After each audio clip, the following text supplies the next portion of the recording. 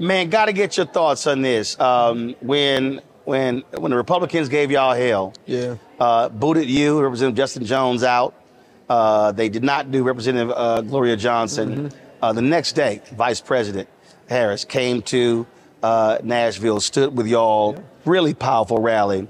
Uh, what do you make of just the energy Yeah. that you've seen from folk in the wake of Joe Biden announcing not reelection and then her assuming the mantle? Yeah, I have not seen excitement like this from the Democratic ticket probably since President Obama uh, in one of the first races, right, in 08. Uh, to have had Vice President Harris come to Tennessee after our expulsion was her making a statement about democracy, making a statement about ending the gun violence epidemic that too few politicians have been willing to do. And so I, I am on the Vice President Kamala Harris for President train tough because I understand that she aligns with our values and is going to represent and put our issues first uh, as she continues to do this work and do this role. But uh, the energy from young people, Right. from millennials, from Gen Z was not there Right. in this way before this announcement. And I, but, but I think the energy in so many levels. So of course, Win with Black Women was on Sunday night. Mm-hmm. Uh, I was one of the co-hosts of Win with Black Men on Monday.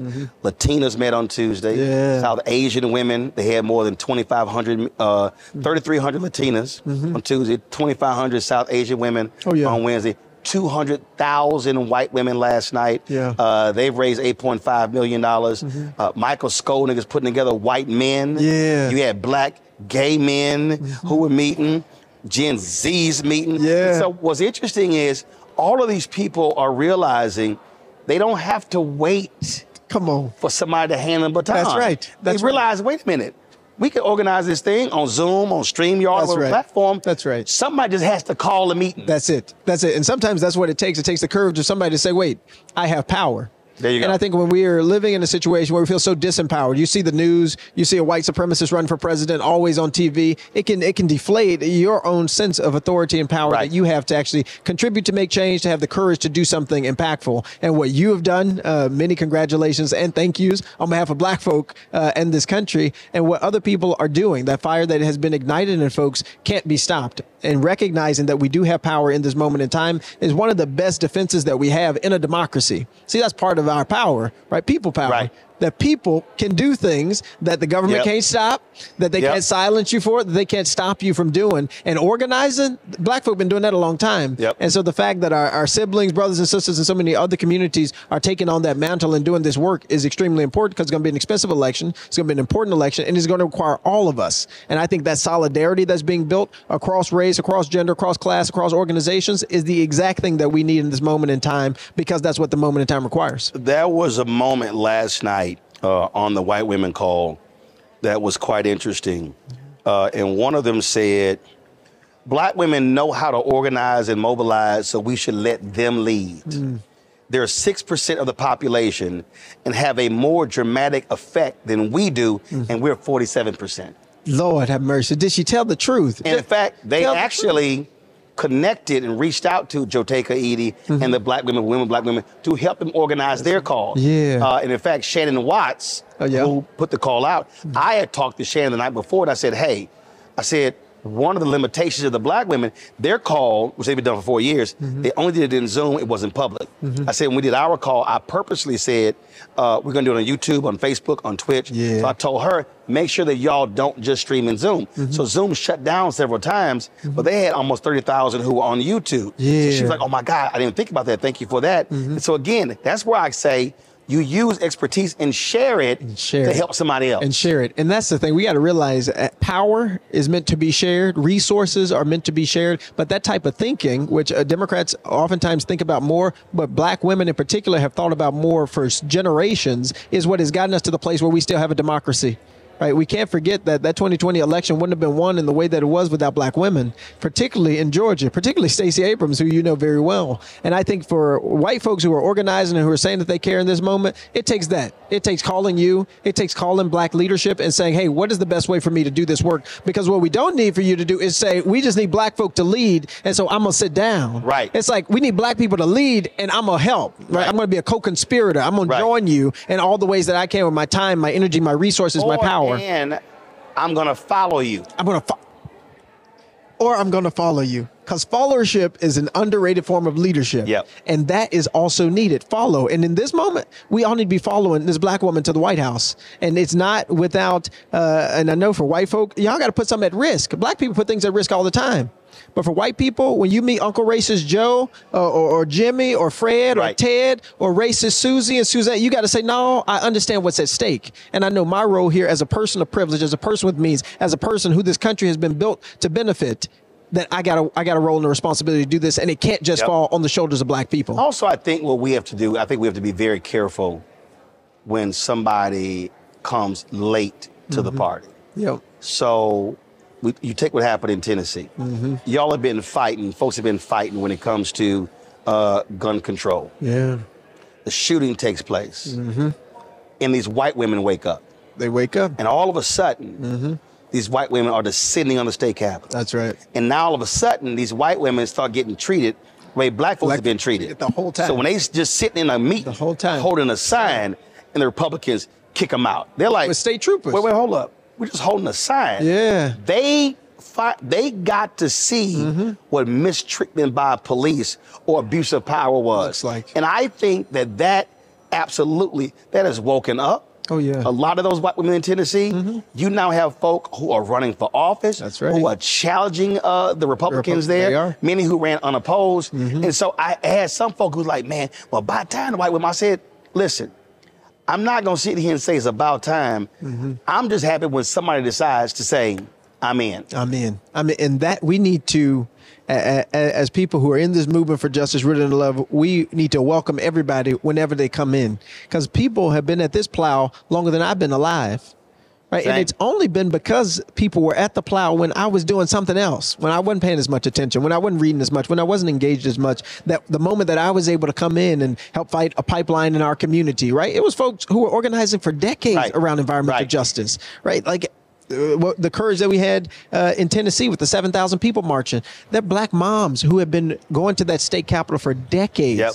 asking for them to do something about gun violence. And so we just have to be humble in some part and just remember somebody was doing the work before That's you right. before you got there. That's right. And for white women and for white folk who are joining, welcome. And it's time to put your hands on something because there is, uh, as the book says, right, that there, there- there's many, uh, there's a lot of work in the vineyard for people to do. But I think we welcome people wherever they come, when they come into the movement, because Yep. there's so much to do in this moment in time. I um I've said this a lot to folk who are millennial and Gen Z. Cause I always, and and I know you hear it as well. They'll be like, "Man, I'm so sick of all these old folks running." And my response is, "Old folk vote." Old I'm like, folk vote. You, you can be mad, Period. but the highest voting group is 65 plus. 65 plus, The time, second highest is 55 plus. Every I election. said, you millennial Gen Z, you actually have the numbers. That's right. But if you don't use your power, That's right. you can't get mad when you had, you're like, man, man, why- why we got a Joe Biden? I said, let me remind y'all, there was 15 other people running. It was. You had a choice. Tell the truth. And Tell so the that's truth. the thing. So how how do you how do you convey to millennials and Gen Zs you have untapped power? That's right. Don't complain. Do what them 65 plus folk. They use it. They use it every time. They, they uh, older folk use their voice and they use their vote. And what I've learned, they more- show up. They show up. That's what I'm saying. Democracy isn't just going to the polls. Talk about cutting Social Security, Medicare. Folks will be starting to call. They'll find out how to send emails. They will go to the co- Congress. They will go wherever they need to go to defend what they know are there or what we know are rights Yeah. that people have earned and You're fought gonna for. love this. So when Jesse Jackson Jr. was in Congress, Uh-huh. a group of young folks came to him. Man, if you don't do this, this, this, and we gonna we gonna vote you out. Jesse Jr. said, "Y'all ain't gonna do a damn thing." Yeah. He said, "You see that building right there?" He said, "That's a high rise." Mm-hmm. He said, "In that high rise," he said, uh, "Old people, and they mostly women." He said, "That's what I'm talking to." Yeah. He said, "Y'all ain't gonna do a damn thing." What he was trying to get them to understand is, he said, all them old black folk, they go into the polls. they gonna come out that high rise Every- with their walkers. and they They, scooters. with their scooters, he said, and they gonna vote. They- and his deal is, if he said, if you want me, That's right. To listen to you, That's right. You gonna have to sit here and maximize your power. That's exactly Listen, right. I know. That's exactly when you right. had when you got stuff. You know who gonna show exactly up. right. It's gonna be them seasoned saints. Saints every time. Faithful. They faithful. They faithful. They'll say if you knock on that door and, and, and Auntie Sarah Gladney say, I'll be there tomorrow. Auntie Sarah Gladney coming. Whether her cousin, her nephew, her grandchild taking it, whatever the case is, she going. Right. And she gonna tell whoever in the car, you come on in here too. Right. And as while a I got you. politician, and see, this is the thing, again, I'm not trying to diss millennials and Gen Zs, Mm-hmm. trying to get them to understand. As an elected official, what you need to know is Yeah. They gonna show up. They gonna show up. So when you like, hey, I need backup. That's right. You know it's gonna be 50, 60, 70 of them. That's gonna show with they up. gray hair. That's exactly and right. walkers, and they like, uh, Justin, baby, we here. We hear what you need us to do. I'll tell you a case in point. When we when we were expelled, the day we were reinstated by the county commission, it was you know a couple thousand people who marched. But you know the contingent that I recognized called my Boxtown contingent. All 65 plus year old black women who had their first campaign shirt. You know, a lot of people got shirts after. Right. Had their first campaign shirt on. Said, "We here, we here." It's that faith. They were they are faithful to democracy. They're faithful to the cause, and then they are faithful to the people Right. who show up and fight for them. And for young people who I talk to, and people in my age group, I tell them it's power. That's it it. is about power. Voting is you making a statement about what you believe power should be doing. Do you believe it should be doing something about healthcare? Do you believe it should be doing something about the environment and climate? Do you believe it should be doing something about poverty? In our state, we gave $2 billion to corporations this past session. Yep. We could have ended poverty in the state of Tennessee this year. And I try to tell people this stuff ain't far off. Right. You know, like we're in some la la line. We had $2 billion Yep. that could have ended poverty in our state. Y'all, it is whether or not we are going to be politically engaged or we're going to be legislatively annihilated. It's just two options. And so we have to vote and then we have to show up at those county commission meetings and those Right. city council meetings, See, that's the, school see, board that's meetings. the piece. What I, what, what I say is, voting is the end of one process and the beginning of another. Yes. You can't. It's not just well, I voted. No, no. You got to then be at that council meeting, that school board meeting, Holding people county commissioners meeting. Come on. And and, and I and, and only and because the reason I understand that my parents were co-founders of a civic club. Seriously. Uh, right, and they listen. Never went to college, but they partnered with other people. They cared about their community. So at seven, eight, so I saw, I testified. I spoke at the city council meeting. What ninth, tenth grade? Maybe I was in the eighth grade. I remember. I remember a black city councilman, Ernest McGowan, when he came to our uh, Catholic Church Bazaar, and I was jamming him up on some cuts. And you know, he answered my first question, my second question, but I hit him with the third, fourth, and the fifth question. Yeah. And he couldn't answer. I said, next time you come to this church, Yeah. I'm gonna need you to have some answers. with some answers. And he was looking around like, who the hell? Yeah, is this? Little kid. kid but this and where he come from? right, he was like, who is this little? But that's only because of what I saw. And so what I'm always trying to explain to millennials and Gen Z, it's like, yo, you can't complain because them old folk are in the game. in the game. They in the game. They've learned the game. They understand the game, and they know how to hold people accountable to it. And all I'm trying to get younger people to pay attention to, and even for like our our, our seasoned saints who are engaged with me and they're super supportive. I'm like, y'all, but if the road ain't paved, and that ain't a state road, that's a city councilor. There you go. To call into our our our, our, our, community. meeting. Or if you're in a rural area, that's a county That's a road. county road. So You you can't call- call Justin. That's the That- that's county me. commission. It's the county commission. But they're like, but you respond. I said, so you know how you get people to respond? Right. Every every second Tuesday they have those meetings. And it's something called public comment. Boom. And it's time for me to come see you. So I told them, I said, we can organize a carpool. There you go. And let's 10 of us go. I'll There take 10 folk, 10 There good you folk to say, hey, we tried to get in touch with you.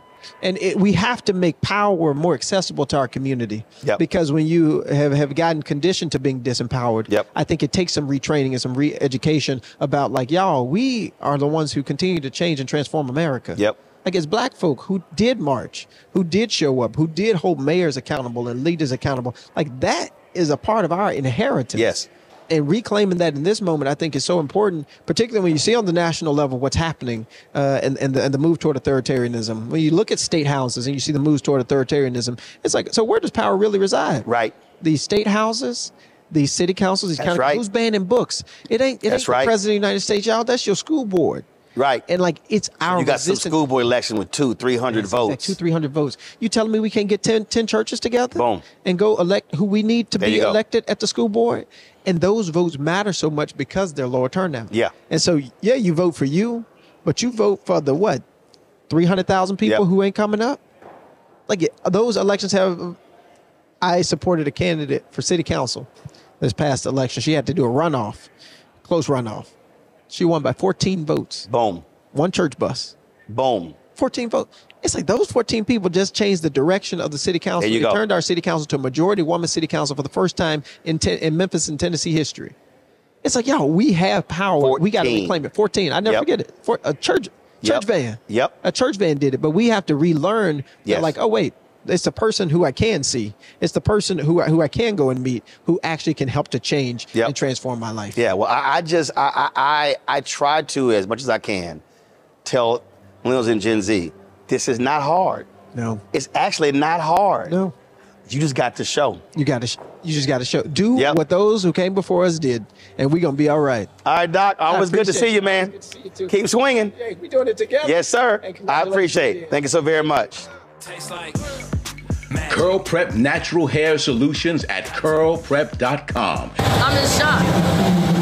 For curls, locks, braids, twists, and even those wigs and extensions. Women, men, and children are loving this line. Look at this video and you be the judge. People line up to see this product in action at hair shows, and when they take a seat and try it, they don't believe it's their hair. Buy the products at curlprep.com. It works on all hair types. Use code ROLAND, that's R O L A N D, lowercase letters, to get a 15% discount.